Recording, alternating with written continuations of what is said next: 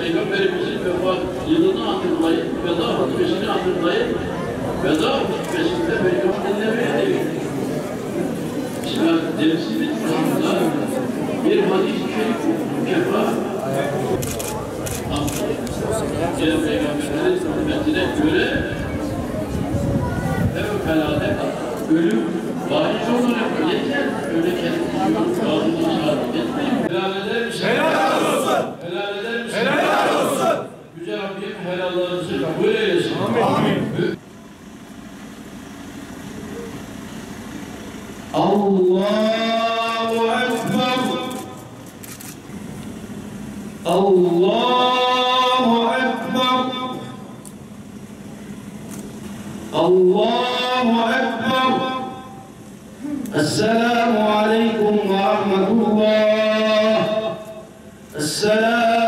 عليكم ورحمة الله ما شاء الله